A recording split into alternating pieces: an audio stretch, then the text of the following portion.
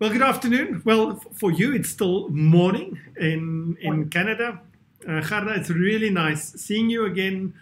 Um, we've unfortunately lost you for South Africa, but I think maybe as the start of the conversation, give us a two minute overview of your career as an industrial engineer, uh, first year in South Africa, and now the opportunities that um, that you've been given abroad as well. You were in the final year class of 2008, so that's already also 12 years ago. Uh, feels like yesterday. Um, it doesn't. Um, so 2009, I started my career in uh, for Exxaro at uh, Mine in Ellisras. Uh, I started as an industrial engineer in the business improvement department, and the big focus there was um, having a look at the production uh, KPIs, uh, performance, and then having a look at you know the operational improvements that we can do, helping with the capital projects and so forth. I was in that role for four years, and then I got um, the opportunity, or uh, that they employed me as a senior industrial engineer. And within Exxaro, that meant um, lots of simulation modelings, mostly, mostly simulation modelling um, for operational projects as well as um, capital projects, greenfields uh, and brownfields uh, projects. And then in 2017, we immigrated to Canada. And I had a short stint in Montreal at a software startup company. And the purpose of, uh, of the company was to uh, create simulation software specifically for the oil and gas industry. And then I got an opportunity to come to Hatch in Toronto. Um, and now I'm here employed as a simulation specialist. Um, and I build simulation models for iron and steel, mining, railways, ports. Um, within the um, what's nice about Hatch is it's uh, worldwide. The projects are worldwide. Were you so aware? That's, that's where I'm now. Were, were you aware of Hatch when you were still back here in South Africa? I was aware of them in terms of they were consultants, um, and sometimes uh, they would wor- uh, give um, do consulting work for Exxaro, but um, no, I, I, wasn't working for with Hatch um, in South Africa. Oh, okay. So simulation has played a big role in your career. Was it by choice? Is it something that kind of you decided on, or was it circumstance and opportunities that just opened up for you in your career? No, it was definitely by choice. So um, in my third year, I was very inspired by Professor Krier um, there at the University of Pretoria. I was really, I really enjoyed um, simulation, um, and I could see. I, I, was, I was working as a pharmacist assistant during my uh, while I was studying, and I could really see how simulation can help you know, in in all areas. So since I was studying, um, I was passionate about simulation modeling, and it was a bit of a it was difficult. It was a bit of a fight, you know, to get that space. Um, for Exxaro, for example, they had a big drive that simulation is only done at head office. It's only done at head office, and I kind of had to fight for that role, and I needed to show them, you know, this could be so great if the simulation guy could be here with the operations. So it was it was a bit of a fight, and it was a um, and I'm glad I did it because I was passionate about it in the beginning. Um, and so yeah, so even but now I'm very specialized. So if you have a look at the careers on LinkedIn, you know, there's lots of lots of other jobs for industrial engineers that has have a bigger scope. But because I'm very, very specialized, there's there's not a lot of opportunities. But I I enjoy it, and that's the way I would like. That's the way I choose it. Cool. Now, uh-huh. when do you think simulation is the right tool, and when do you think one should actually avoid simulation? So, so what's the value of simulation? The value for uh, for me, well, I can give you the the textbook answer is that you can have accurate and practical and realistic predictions of the future, or you can quantify specific benefits of a project. Um, it takes a holistic approach. Um, but for me, I, I, thought about it this morning while I was driving. What's what's the value that I find? And it gives me, you know, goosebumps when I think about it. Is when you create the model, and then you start working with the client or the manager or the engineer or the designer that had the system that ha- that knows this system, and now you've kind of copied what he knows. And you can give him the tool to push his system to the limits.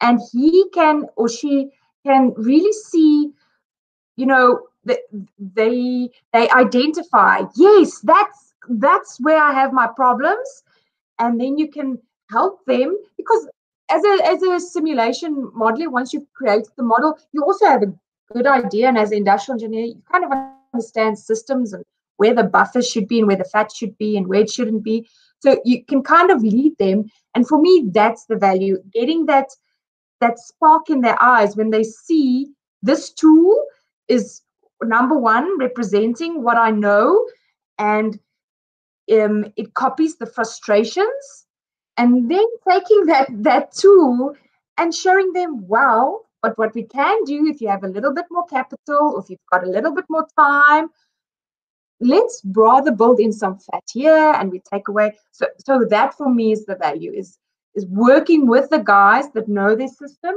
and getting that that feedback from them in terms of how can we improve this or get the most benefits out of it.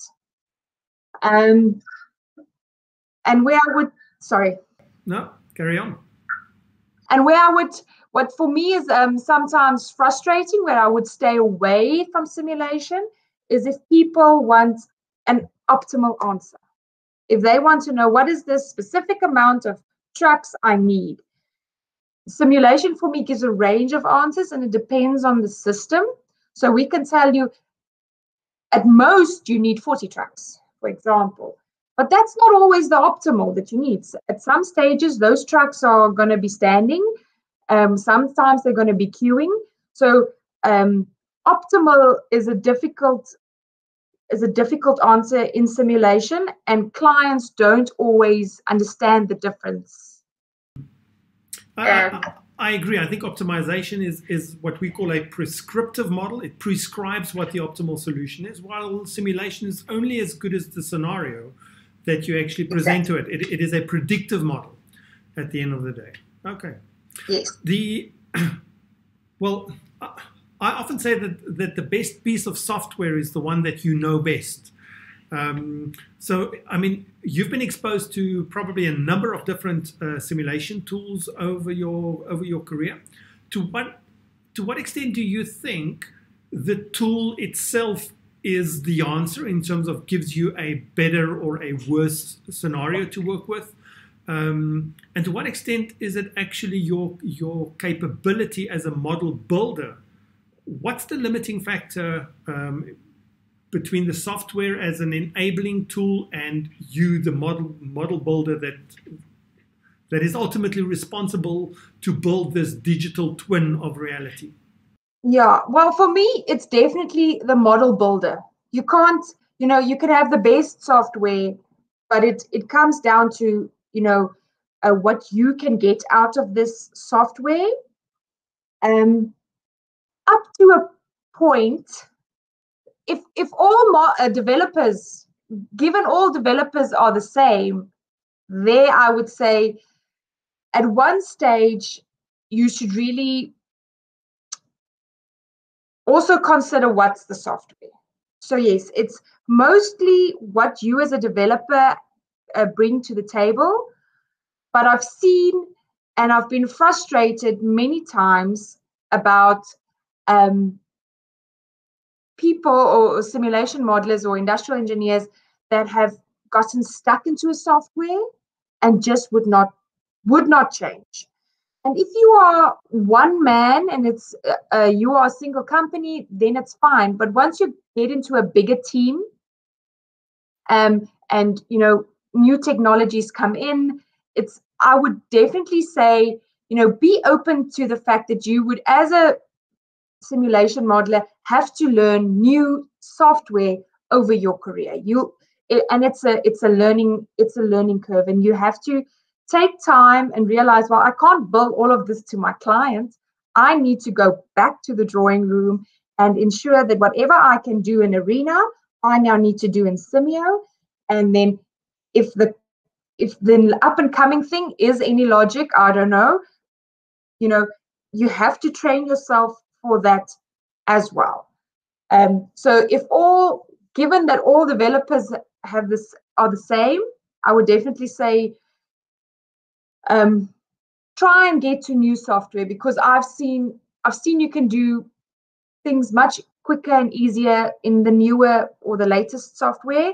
And I've been frustrated with people that stick to the old way because that's what they know and everybody knows that. Um, but if all softwares was the same, or, or even even if we're not, if we know we work with different softwares, it's what you as a developer bring to the table.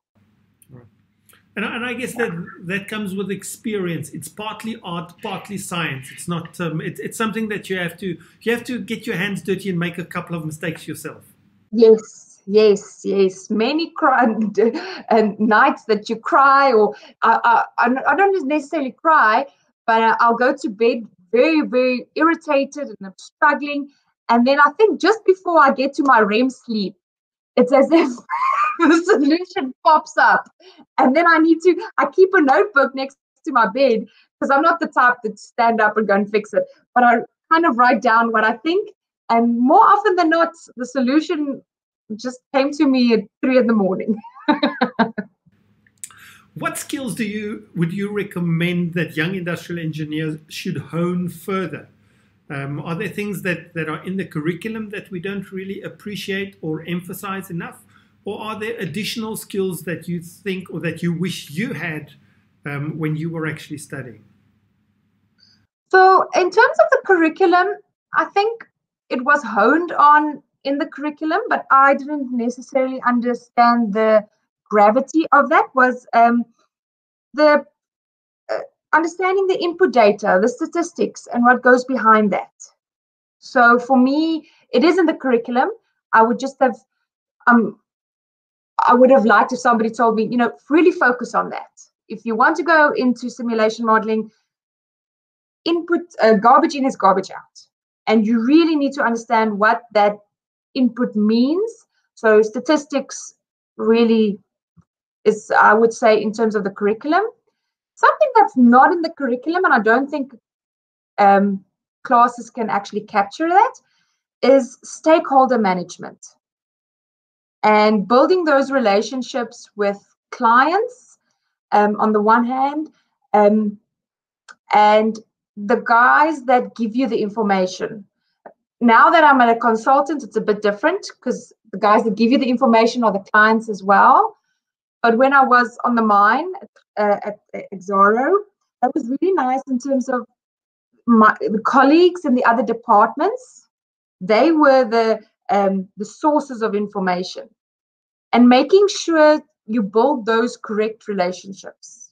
Because once you break the trust of somebody, it's difficult to get that back. So being humble and being open to their opinions, they know their system.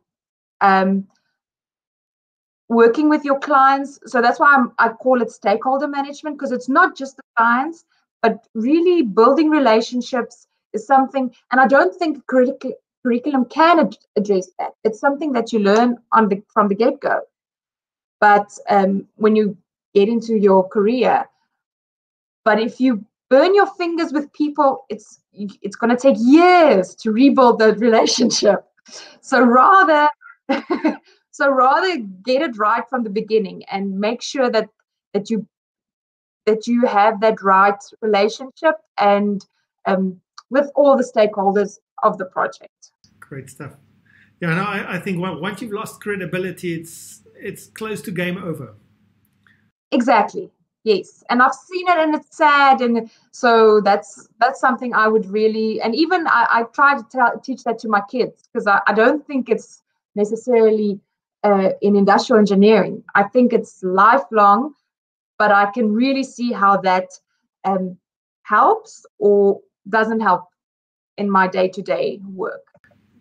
I'm, I'm curious, maybe just as, as, as a last question, you recently, um, you were a registered professional engineer here in South Africa.